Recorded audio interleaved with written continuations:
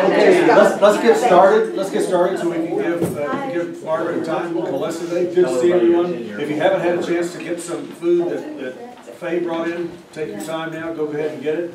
But let's go through the, uh, church-wide announcements real quickly on this. Um, I have, I have to tell you, we are gonna be hearing music today. Max Tucker has a boom box right on the other side of that wall right there, so uh, we're, we're gonna see how that goes. We might be serenaded this morning, so. Okay, well, So we'll, we'll see how that goes. background. Um, take a look at Darren Dement's, um, preparing for worship. Very interesting. I, some, I never think about what he wrote about today. I think you might be interested, but, uh, take a look.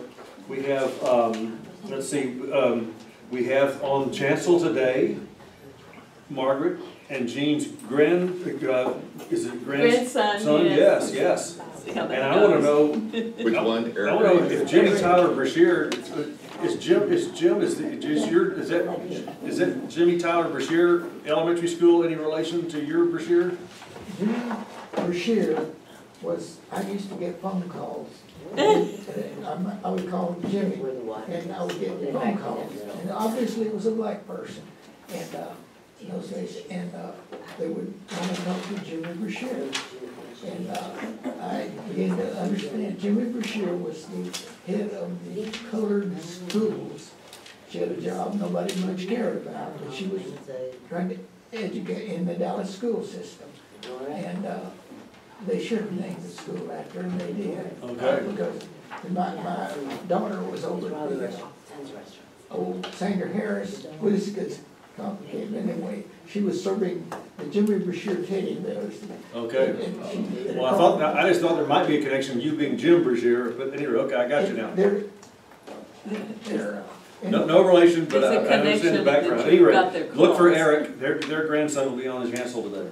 Okay, so on page eight, um, is everything about Easter and Holy Week, uh, sunrise services next Sunday on TP Hill. I hope they have a better, clearer day than today. Maundy services on Thursday. Uh, you'll see, um, Easter worship next Sunday, of course, flowering cross, you can get your picture taken out front, Uh, it's always a good thing to do. And today's is, uh, I think the order lilies by today, they say on page nine. Uh, Lenten playlist on Spotify, and this is about Charlie Fuller also on page nine, and his sidekick. So, uh, we'll, uh, we're glad that Charlie is with us on this. Eclipse Party on page ten, uh, on April eighth. Uh, Parenting and the Enneagram, so that's on page ten as well, that ought to be interesting. Now, Rachel Olney is hired as our receptionist, and her mother, Lisa Olney, used to be in this class a long time ago, so, uh, that's, that's interesting. Uh, Women of Wilshire are busy, you'll see on page eleven, with, book club, brown bag club, and, um, mahjong, so, pretty, pretty impressive there. And I gotta see this, coming soon, the Gospel of Aretha Franklin, starts on April third, that's on Yes. page eleven, I wanna, I wanna attend that. Um, Request from the History Committee on page twelve, you've got some old books there, they're looking for cookbooks. Oh, Um, They're looking for spring youth retreats coming up, and ushers and greeters are always needed. If you have time, do that, that's a great one. Rhonda Walton is our uh, I Am Wilshire uh, for today, and she's in the next she's in Epiphany class right behind us, um, and and is a retired physician. Uh, Let's see, Uh, oh, and also the, um, this, this I want to attend on the fourteenth for sure, on the, on the back page is um, uh, the deep roots of racism in the Christian church. And on Sunday, Mark Wingfield is doing a web, a webinar, a live webinar for the Baptist News Global. And that's something I, I de- I would definitely want to attend, and um, that's, that's gonna be really good. Is there any other church-wide announcements we have? I know we have several out, I know, I've heard that Diana Early is out with Road to Resurrection, and Susie McLaughlin, maybe others, but is there any other church-wide announcements that we need to talk about before we give this to Margaret? If not, Margaret, it's all yours. Thank you. Okay. And Jean, thank you for coming as well. We appreciate it. Thank you all for having me again. Um, And today's lesson, at first I thought I was just going to focus on Elizabeth, and I thought that's, that's a lot. And then uh, Dennis reminded me it was Zechariah and Elizabeth. But as you read this passage, it's so intertwined with Mary's, I mean, you know, Mary's in there too. So we have to talk about all three as we look at this passage today. And um, I, um, I love the way Luke intertwines these stories and has such an emphasis on the women and their role in leadership in uh, these events. I thought of some titles for this lesson. It could be In the Fullness of Time, uh, as um, Paul reminds us, in the fullness of time, God brought forth his son. Or it could be A Pregnant Pause, or Pregnant with Meaning. And I've always thought that grandparents, especially grandmothers, have a way of turning any conversation hmm. into, within about ten minutes, into something about their grandchild. Mm-hmm. And so today, I'm going to share with you some good news that our family got this week. Our son sent us up a picture of a sonogram, and the couple that we thought was never going to have children, they had decided, you know, they didn't, you know, want children or whatever, whatever children they decide these days, have decided at age forty and thirty-nine that, that I know they will become parents. And so we're just thrilled about that news. And um, sharing it with everyone we can. It's another little boy, so we'll have three grandsons. But Wow. anyway, um, as we start our lesson today, let's think about maybe times that were in our lives that were really difficult for us. and certainly difficult to understand God's presence with us and how, you know, maybe we've had prayers, we've prayed and prayed and they haven't been answered. Um, maybe, um, maybe for you, it's you feel like the meaning has gone out of life. Or people you trusted had let you down. Or perhaps as we sometimes do as we age, we have thoughts of, well, my time is over. Or things certainly didn't turn out the way I had thought or hoped they would. Or maybe your dark time is just the situation our world seems to be in now, or our nation seems to find itself.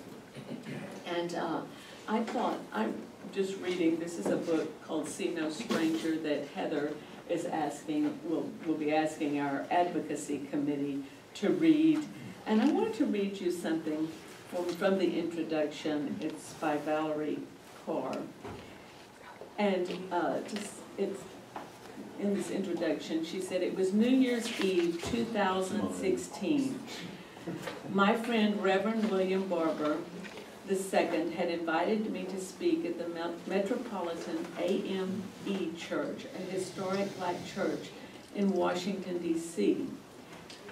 Like millions of Americans, this shows her perspective and maybe certainly but it was, I was still in shock over the results of our presidential election. I looked out at the crowded church and saw grief and anticipation in people's eyes. The future is dark, I said, but what if, what if this darkness is not the darkness of the tomb, but the darkness of the womb? What if our America is not dead, but a country that is waiting to be born? What if the story of America is one long labor? What if all of our grandfathers and grandmothers are standing behind us now? Those who survived occupation and genocide, slavery and Jim Crow, detentions and political assault. What if they are whispering in our ear, you are brave? What if this is our nation's greatest transition?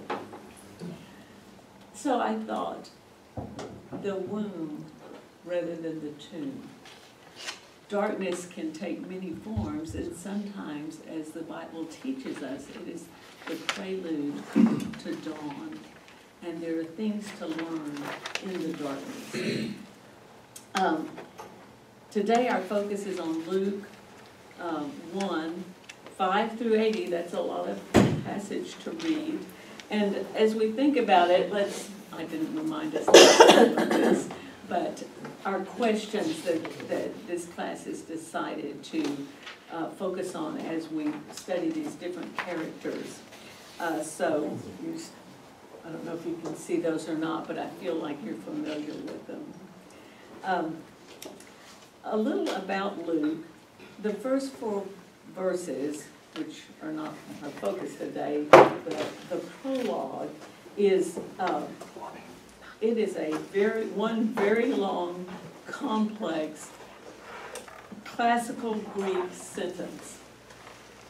And it's unique in biblical writings, but it was common in Greek writings. And, but in verse five, the author changes to a storytelling mode with a more Semitic or Hebrew flavor, using references from the Hebrew scriptures that were familiar to many of his hearers. Um, He had, a- Luke has a strong emphasis on women and features three women in his birth narratives. Uh, That's Elizabeth, Mary, and Anna. Uh, Luke intertwines the birth narratives of John the Baptist and Jesus. And for instance, in the Annunciations, you have some similarities, the Annunciation, Annunciation to Zechariah and to Mary. And just phrases that you'll recognize from both of them. He was troubled, she was much troubled, you know, when the angel visited. The angel said to him, and the angel said to her, Do not be afraid, and identically to Mary, do not be afraid. And, This is the same angel talking to both of them, right? yeah, it's uh, uh, Okay. Gabriel. And that's right, the Gabriel, yes. Um, And Elizabeth will bear you a son, and you will bear a son. And you will name him, and to Mary, and you will name him. He will be great. To Mary, he will be great. Uh, the, and Zechariah said to the angel, and Mary said to the angel, to Zechariah, and replying, the angel said to him, and to Mary, and replying, the angel said to her. And then, yes, here's our answer, Gabriel, God sent, and now, those words. And then to Mary, Gabriel sent, God, and now. And that was recently pointed out to me, and I thought that's very interesting, and um, I just thought I'd share it with you.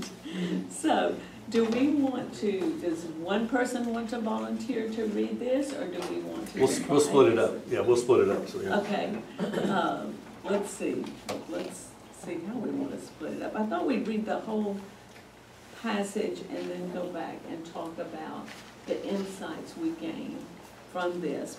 Um, Somebody start and just read, um,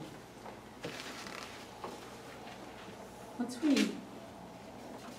Do somebody want to read the whole section up to the, the birth of Jesus foretold? That would be verses five through twenty-five. Okay, thank you, Travis. In the days of King Herod of Judea, there was a priest named Zechariah who belonged to the priestly order of Abijah. His wife was a descendant of Aaron, and her name was Elizabeth. Both of them were righteous before God, living blamelessly according to all the commandments and regulations of the Lord.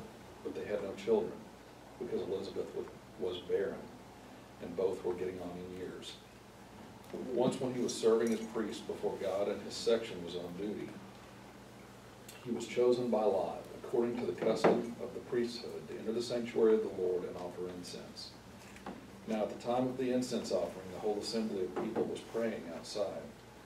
Then there appeared to him an angel of the Lord, standing at the right side of the altar of incense. When Zechariah saw him, he was terrified, and fear overwhelmed him. But the angel said to him, Do not be afraid, Zechariah, for your prayer has been heard.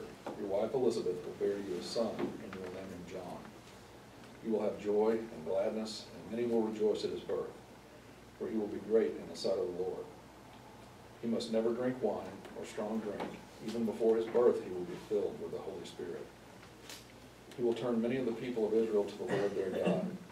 With the spirit and power of Elijah, he will go before him to turn the hearts of parents to their children and the disobedient to the wisdom of the righteous, to make ready a people prepared for the Lord. Zechariah said to the angel, How will I know that this is so? For I am an old man and my wife is getting mm-hmm. nine years. The angel replied, I am Gabriel. I stand in the presence of God, and I have been sent to speak to you and to bring you this good news. But now because you did not believe my words, which will be filled, fulfilled in their time, you will become mute, unable to speak, until the day these things occur. Meanwhile, the people were waiting for Zechariah and wondering at his delay in the sanctuary. When he did not come out, he could not speak to them. And they realized that he had seen a vision in the sanctuary. Oh, I'm sorry, when he did come out, he could not speak to them, and they realized he had seen a vision in the sanctuary. He kept motioning to them and remained unable to speak. When his time of service was ended, he went to his home. After those days, his wife Elizabeth conceived, and for five months she remained in seclusion. She said, This is what the Lord has done for me, when he looked favorably on me and took away the disgrace I have endured among my people. Thanks. Anybody else want to pick that up there and read maybe? I'll do the next section. Through thirty-eight? In the sixth month, the angel Gabriel was sent by God to a town in Galilee called Nazareth, to a virgin engaged to a man whose name was Joseph of the house of David. The virgin's name was Mary, and he came to her and said, Greetings, favored one, the Lord is with you. But she was much perplexed by his words, and pondered what sort of greeting this might be. The angel said to her, Do not be afraid, Mary, for you have found favor with God. And now you will conceive in your womb and bear a son, and you will name him Jesus. He will be great and will be called the Son of the Most High, and the Lord God will give to him the throne of his ancestor David. He will reign over the house of Jacob forever, and of his kingdom there will be no end. Mary said to the angel, How can this be, since I am a virgin? The angel said to her, The Holy Spirit will come upon you, and the power of the Most High will overshadow you. Therefore, the child to be born will be holy. He will be called Son of God. And now your relative Elizabeth, in her old age, has also conceived a son. And this is the sixth month for her who was said to be barren. For nothing will be impossible with God. Then Mary said, Here am I, the servant of the Lord. Let it be with me according to your word. Then the angel departed from her. Okay. Somebody else want to pick this up at thirty-nine? In those days, Mary set out and went with haste to Judean, a Judean town in the hill country, where she entered the house of Zechariah and greeted Elizabeth. When Elizabeth heard Mary's greeting, the child leaped in her womb. Mary was filled with the Holy Spirit and exclaimed with a loud cry, Blessed are you among women, and blessed is the fruit of your womb. And why has this happened to me, that the mother of my Lord comes to me? For as soon as I heard the sound of your greeting, the child in my womb leaped for joy. And blessed is she who believed that there would be a fulfillment of what was spoken to her by the Lord. Okay, and somebody else want to pick it and do the Magnificat? And Mary said, My soul magnifies the Lord, and my spirit rejoices in God my Savior, for he has looked with favor on the lowliness of his servant. Surely, from now on, all generations will call me blessed, for the Mighty One has done great things for me, and holy is his name. His mercy is for those who fear him from generation to generation. He has shown strength with his arm. He has scattered the proud in the thoughts of, the, of their hearts. He has brought down the powerful from their thrones and lifted up the lowly. He has filled the hungry with good things and sent the rich away empty. He has helped his servant Israel in remembrance of his mercy according to the promise he made to our ancestor to Abraham, Abraham and to his descendants forever. And Mary remained with her about three months and then returned to her home. Okay, we're getting there. So, does anyone else want to pick up and read with verse fifty-seven? Now the time came for Elizabeth to give birth, and she bore a son. Her neighbors and relatives heard that the Lord had shown his great mercy to her, and they rejoiced with her. On the eighth day, on the eighth day, they came to circumcise the child, and they were going to name him Zechariah after his father. But his mother said, No, he is to be called John. They said to her, None of your relatives has his name. Then they began motioning to his father to find out what name he wanted to give him. He asked for a writing tablet and wrote, His name is John. And all of them were amazed. Immediately his mouth was opened and his tongue freed, and he began to speak, praising God.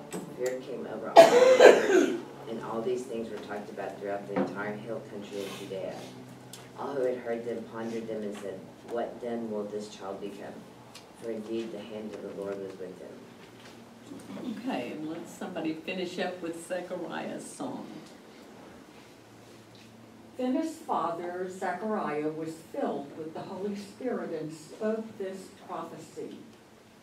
Blessed be the Lord of Israel, for he has looked favorably on his people and redeemed them. He has raised up a mighty Savior for us in the house of his servant David. As he spoke through the mouth of his holy prophets from, old, that we would be saved from our enemies and from the hand of all who hate us. Thus, he has shown the mercy promised to our ancestors and has remembered his holy covenant.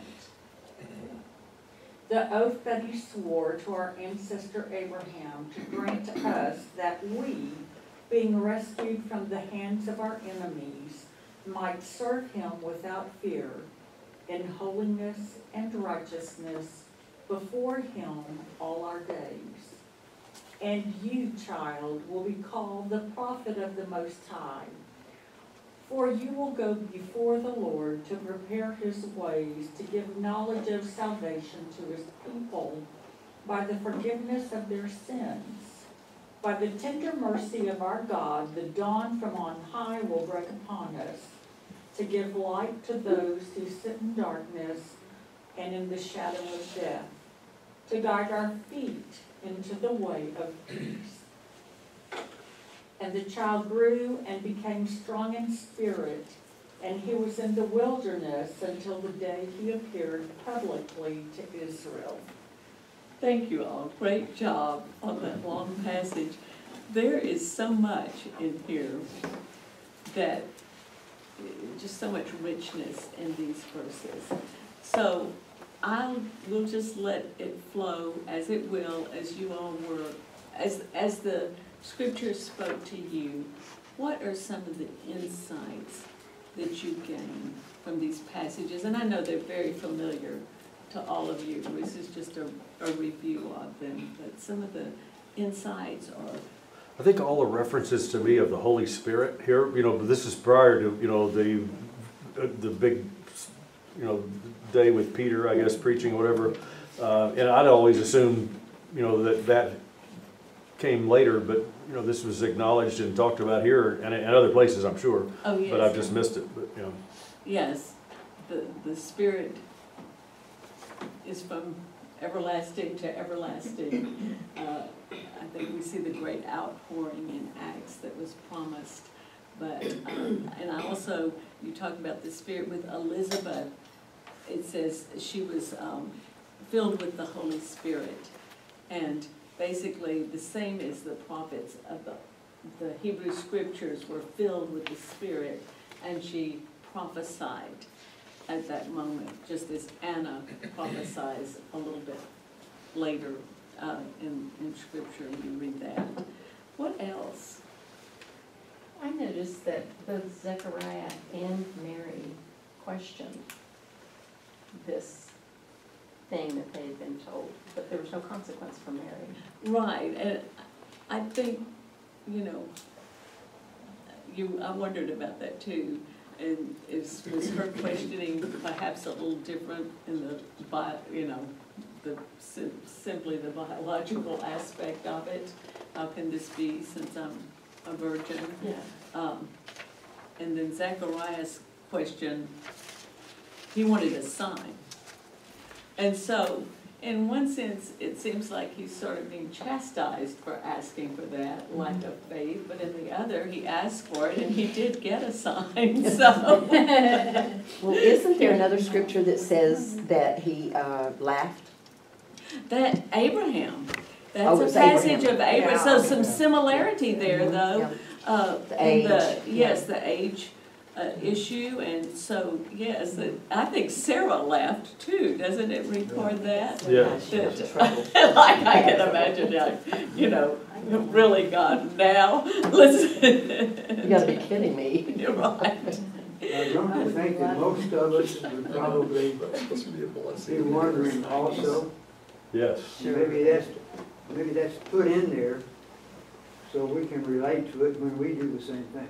Right, right, it's like, you know, and, uh, it's interesting when we think that, well, we're too old to do something.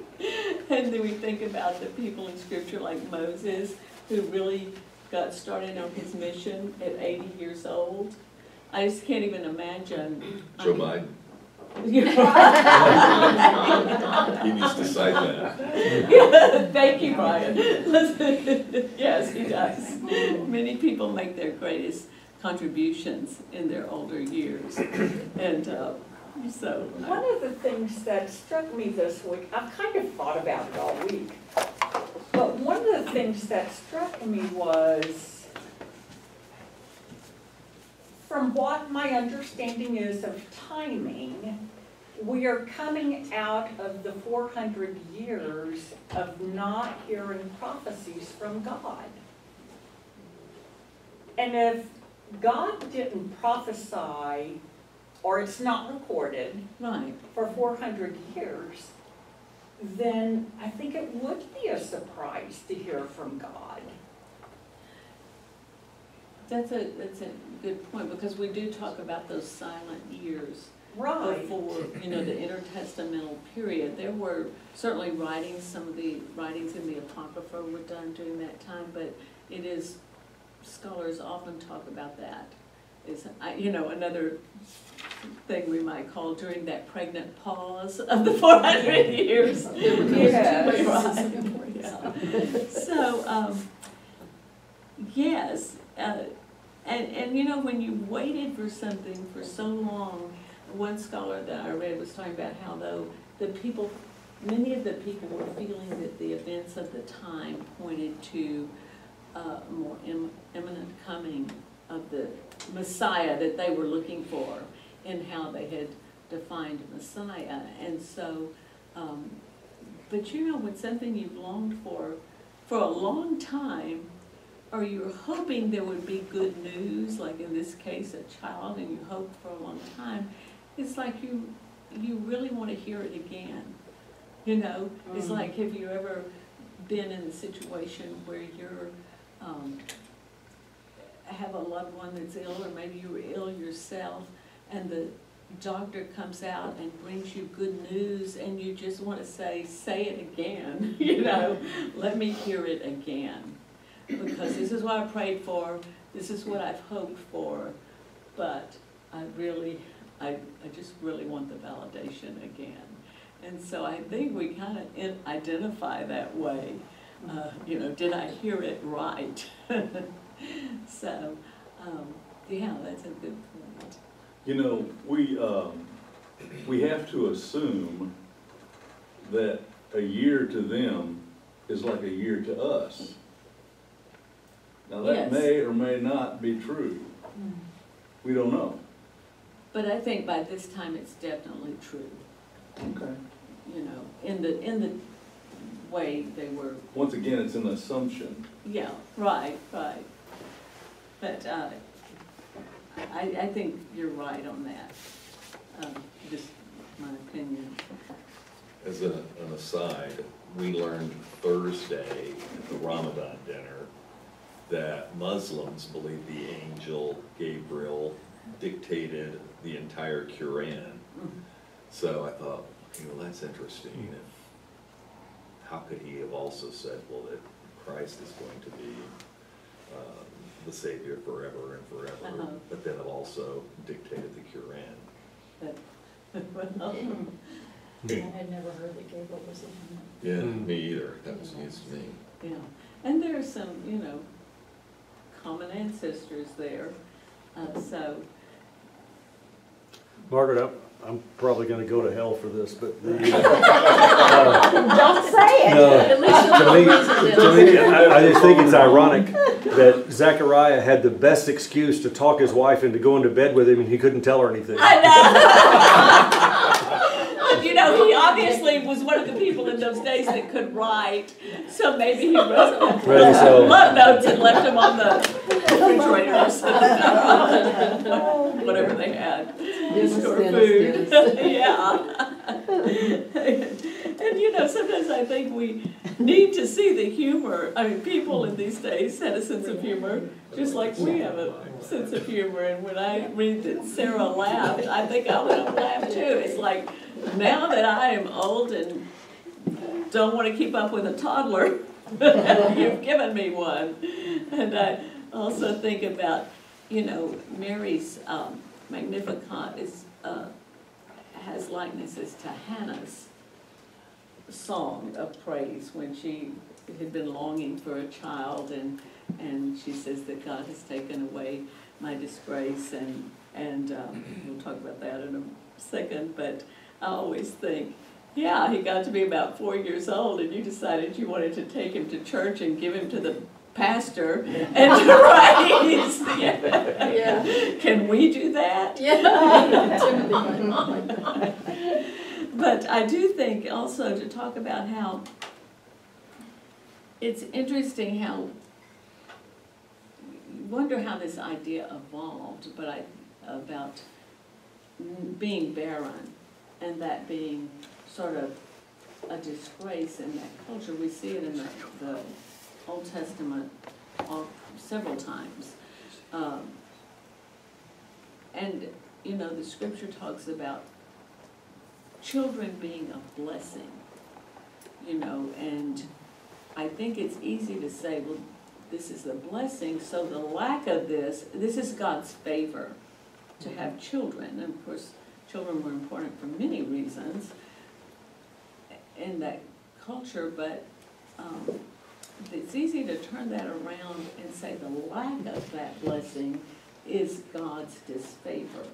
And I just, I don't believe that. Well, I think there, I mean, we've talked about that too, like in sermons, heard Timothy even say um, something about the fact when people say, oh, I'm blessed, know, Mhm. I'm blessed.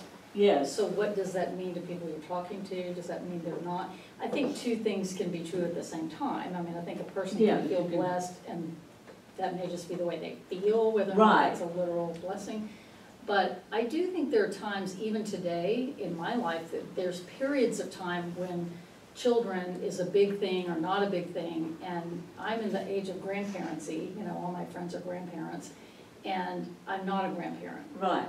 And when I meet people who don't know me and they're, in- you know, you're in that circle, it's always about, they make that assumption, just mm-hmm. like they did when I was childbearing age, oh, you have children, you know what that's like. Yes, No, I yes. don't. No, I know. and so there's that, again, that timeline where you feel like, okay, I'm once again having to face this, or, Yeah, feel like you're that you're out of You're right, you're, you're out of the circle and I appreciate all of the things they're saying. I mean, I have siblings that have kids, I know what it's like to, to be an aunt. um, And I know what it's like, I practically raised my niece with my sister when Yeah, she was a single yeah. mom. So I know all those things and I appreciate them. And people make the assumption either that you have them, if you do appreciate it and you act like you know what's going on, Yeah. they- they assume it's only because you had them. It's like, no, you know, you can like Yeah. children and um, understand them and their growth and development without being a mother. Right. But it's, it's hard, because I Yeah, thought it all is that was hard. kind of. And I'm glad you brought that up. And I was like, oh, I'm not Yeah. a grandmother. Yeah, Excuse me. people just assume, and, you know, I thought the many times that I had gushed over other people's pictures of grandchildren. Oh, isn't that precious? Oh, Didn't they think that you and your papers. favorites- that Oh, so I thought, your I found when I finally had a grandchild, I thought, well, I'm going to just show a few Mhm. pictures around too. Yes. But I, but, um, uh, so, yeah, it's a good, Don't you think because she was from a priestly line, that people may have thought she had done something wrong? well, that's exactly what people thought, you know, if people weren't blessed with either riches or good health or children, that they must have done, you know, like the disciples asked Jesus, who sinned, this person or his parents? You know, so the, us- it's easy, it's kind of easy to make that leap, I guess, you know, when something is a, a blessing, and, you know, how many times have, have, uh, we said something like, you know, when someone recovers from an illness, a child recovers, and we say, oh, God really answered that prayer, or what a blessing for the person whose child didn't recover, or whose loved one didn't recover, does that mean God isn't blessing them, or that God is withholding God's blessings from them? You know, it's an interesting thing that we, I think we have to be very cautious about, you know, uh, and how we, how we interpret what God is doing. One thing that I have always thought about this, as many times God delays an answer to prayer that we're looking for, you know, that we would like answered immediately, because God's will for our life is intertwined with His will for other people's lives and for salvation history. You know, we often forget that we are a part of God's overall plan. And so when God, it, it's hard to trust God's timing. You know, I mean, I think it is sometimes when it doesn't seem to fit into what we thought God had called us to, or we thought that things were gonna be different and God would be faithful, but we have interpreted that in our, in our will. You know, in the Bible, it, it, there to be in several places, it says, just keep on praying. Mm-hmm. And boy, that's hard to do, you've been doing it for so many years. Think, Yes. Well, I think I've just about worn that out. Yeah, right. Just keep on. Right. Just And you know, on. I always think about asking, it shall be given you, seek and you shall find, knock and the door shall be opened to you. Sometimes it is, you know, seems like we often interpret that as, you know, it's gonna be immediate, but seeking is part of the growth process. You know, yes, sometimes we, I've had prayers just recently that I prayed in the morning and by evening, they were answered. There are other prayers I've prayed for years and years. And maybe we grow more in the seeking, those that take longer, that we have to, you know, think a little bit more about what is God doing here and how is what God's calling me to do intertwined with maybe somebody else's prayers or God's salvation history. So, you know, I think about that and I think about how the timing for Mary was unexpected, right? And the timing for Elizabeth was unexpected, but how they were all part of God's plan. So, Margaret, I think of, of the people in Egypt, you know, they, when they were there for four hundred years, I think it would be very difficult for, for a second generation, much less, you know, eight generations or whatever it was, to, to pray for deliverance. Um, and I, I think, I, I might have given up. Yeah, yeah, and I think they had. You know, Moses didn't have an easy time moving them forward many times and helping them to have faith when things looked bleak. But, you know, I always think we should talk about the patience of Moses more than the patience of Job. There were a few times, there, I think, maybe twice we see Moses losing his temper a little bit. The first time was when he killed the, the Egyptian that was abusing a fellow Hebrew. The second time, when he struck that rock, again, you know, to bring water, and he was angry about it. And I always thought, you know, it's a pretty harsh punishment to not be able to go into the promised land. Mm-hmm. And the Bible does speak of that, is, you know, it connects that, but I also think his time of leadership was over. And if he had gone into the promised land, probably Joshua wouldn't have been able to lead in the way that Joshua, that he needed to lead, because people would have said, well, Moses didn't do it like that. So, so, again, God's timing, and, you know, Moses might have been relieved that he didn't have to go with those people into the promised land. I'm done with you people. One of the things too that I often wonder about is, I think people groups that have gone through suffering, like, um, thinking of black slaves and, you know, early people in this country, and people who've gone through generations of suffering or, you know, living, especially people who believed in a, a God or somebody greater than themselves and relying on that to make it better. I hear so many times from my black friends about, you know, looking at their prayers and their um, hopes and dreams, and they, they look more futuristically. That culture looks at it like, I don't care if I get it, I want it to be for somebody else. Like, I'm doing this, whether or not it comes to be in my time. Yes. I'm doing I this for am- future generations. I And I think that's that. something, I know I've, if that's lost on me, you know? Yeah. Because I feel like, and that comes from, that comes from privilege or from Yeah, having people that know how to make things happen or whatever, and having that system in place to make that happen. But it's, that's something I think that's really interesting, is I know a lot of black women especially who have the capacity to go, this isn't about me, it's about my future generations. It's about Yes. people that come after me, and I think, wow, that's a that's legacy. a great something, yes. perspective.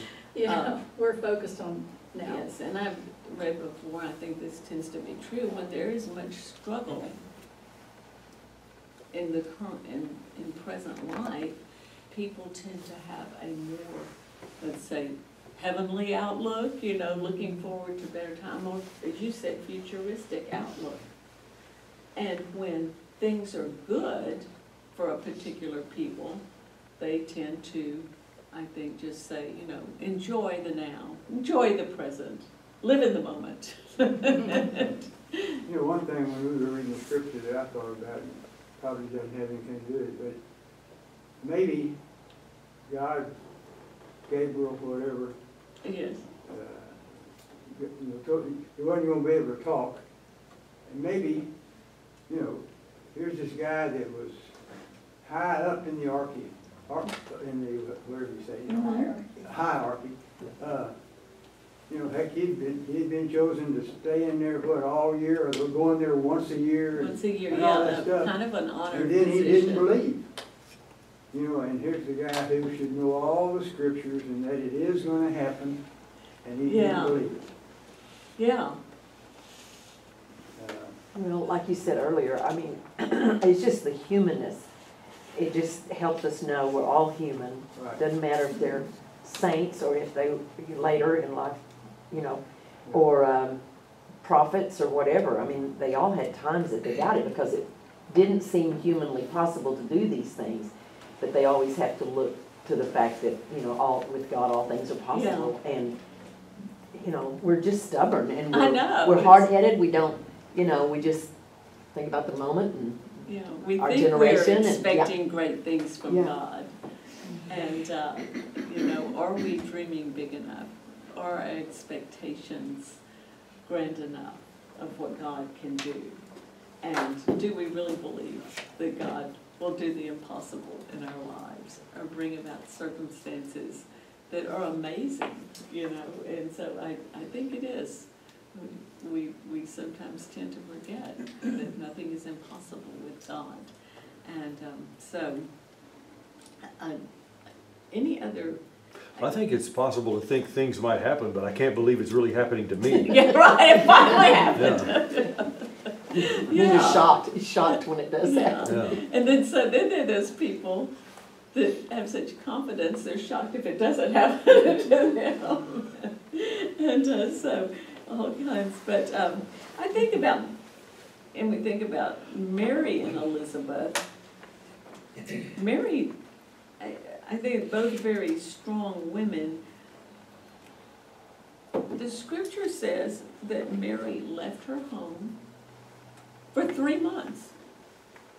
Yeah, that was interesting. It is, and, the- and she traveled, it doesn't say anybody traveled with her, but probably a distance of maybe seventy miles that she traveled to go see Elizabeth.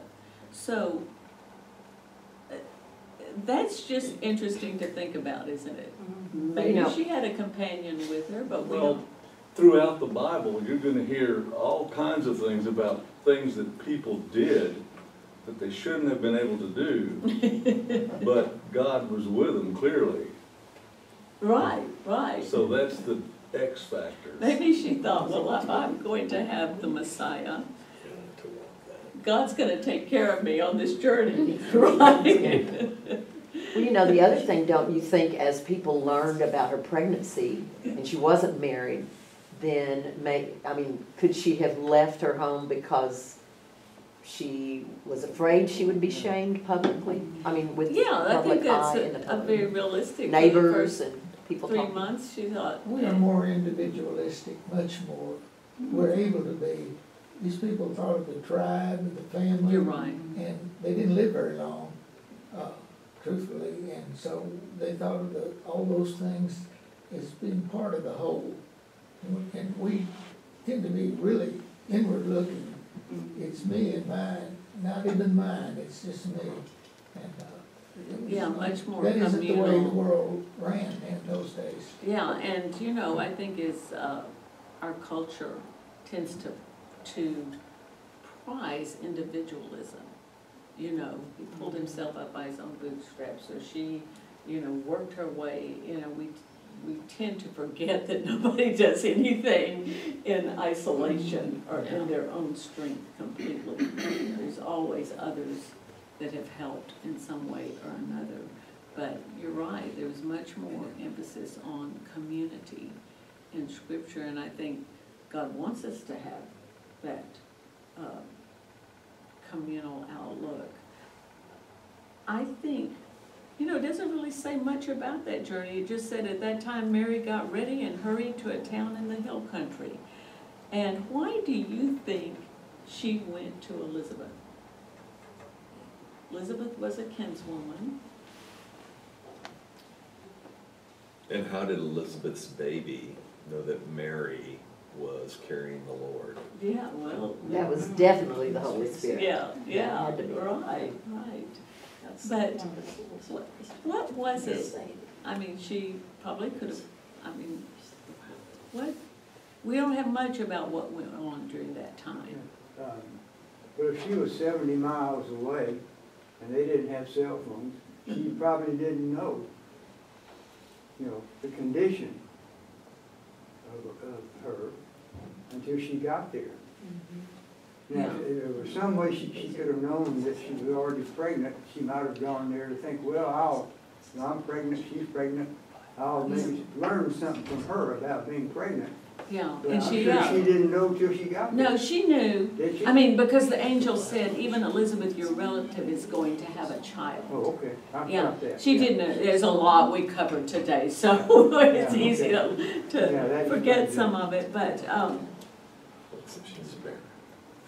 She who was said to be barren is in her sixth month. And this is part of the answer of how will this be? You know, when Mary asks, how will this be? Well, even Elizabeth is praying, you know, nothing's impossible with God. And so, I, I think that they drew strength from each other. Mm-hmm. and wisdom from each other. And it doesn't say that Mary was there for the birth, but it does say she stayed three months and Elizabeth was in her sixth month. So I feel like that Mary stayed through that time with Elizabeth, but you know, it's just my supposition. Yeah, why would you leave right Yeah, right as your before the friend? baby Yeah, came, it's you not know, have the baby. so that maybe they shared that time together. Um, I'm here, you need help, I'm leaving, is that what you're Yeah, saying? right, right, well, I'm out of See ya. here. Well, it's written by a man, he probably thought, oh, whatever, she has her baby. Yeah. Maybe Elizabeth was there, We'll maybe assume that not. happened. Yeah. Would be very interesting. Well, you know, they were both celebrating a miracle. Yes. So that, I mean, that's something they couldn't share with very many women. You know, that was like two women.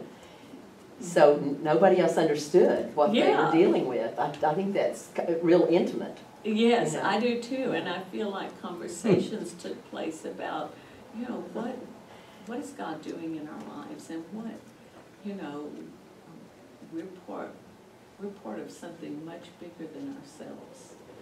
Um, and how they, you know, just as people do, and as- I think especially women draw strength from talking and from being together. And it's, that's not just, that's not unique to women, but I do think there is a, a bond there. And both of them seem accepting of what God has called them to. And both are favored, uh, you know, are spoken of as favored by God or blessed. But I am reminded that nobody in scripture who is blessed by God and where it talks about that has an easy life. You know, they were called to a difficult task, even with all the beauty of the babies coming and, um, their lives were not easy. And, you know, I think of Mary standing at the cross. Elizabeth, maybe she wasn't alive when John was murdered. I hope John lived through that. But, um, you know, and I think about the way that children, you know, it's interesting, but the scripture says about both John and Jesus that they grew in wisdom and understanding. And, uh, you know, but very different. It seems like John seems to stand out. We always think of him as kind of the, maybe a little weird. I always think about John It's like, um, That bugs and honey diet.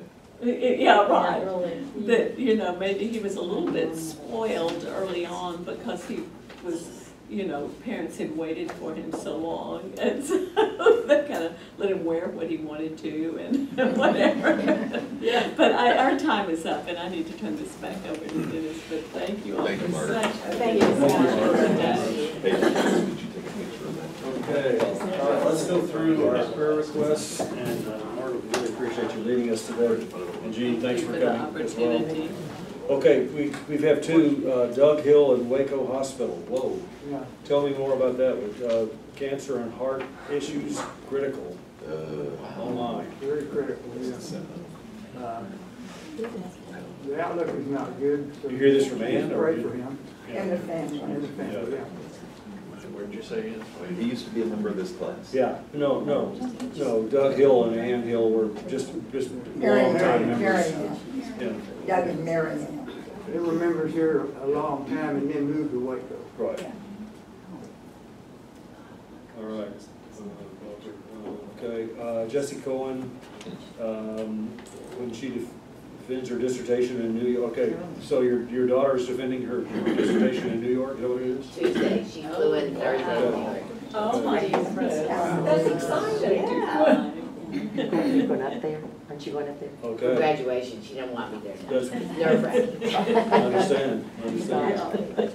Uh, Other prayer requests, do we have other ones? I know some of you came in, you your you greeters came in after the book went around, but any other prayer requests we have? I have an update. Uh, Merrick's little boy Hayes got through his heart surgery and, uh, is in recovery. I think, I think. we, uh, He came Yes. home yesterday. Came home yesterday, okay, Yes, yeah. that's wonderful. We Thank God that good doctors. Okay, Okay, any other prayer requests? Let's pray and go down. Thank you again, Lord. We appreciate you very much. Heavenly Father, we thank you for a time that we can read scripture about two women that um, were blessed by you and that served you well and delivered sons that were so influential in the, in, in our life as Christians. Father, we thank you for their um, willingness to say yes and for um, the lives that they led. Thank you for the lesson that Margaret prepared for us and the scripture that we read today. We pray for Doug Hill and his wife Ann in- Waco as he's fighting cancer and heart issues and is in critical condition. We thank, we um, pray for Jessie Cohen as she defends her dissertation in New York on Tuesday. And we have a prayer of thanksgiving and praise for Hayes, the son of Merrick and, and Catherine, as, uh, he is home from the hospital after open heart surgery as a three-year-old and is, um, doing well. Father, we thank you for Wilshire, for our new pastor, we thank you for our staff. Help us to be your hands and feet in this part of the world, in the name we pray, amen. Amen. I'll make sure he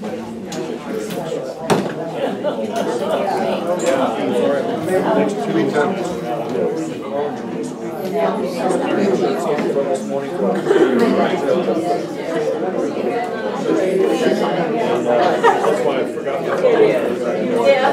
you're thinking. You're already. Oh, yeah. That's, a very long drive.